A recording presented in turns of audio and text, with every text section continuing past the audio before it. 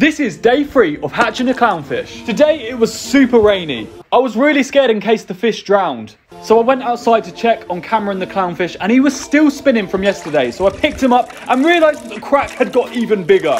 I thought Cameron would be hungry so I went inside to get him a snack and I found this fish food. Perfect! Also, by the time I went outside again, it wasn't raining. So I went to give Cameron some fish food and he wasn't there. But then I looked around and he was just playing on the swing like a good little boy. So I picked him up to take him back to the bath and I realised that the crack had got even bigger. I can now see him. I gave him some food, he started spinning, and we'll see if he hatches tomorrow. Goodbye!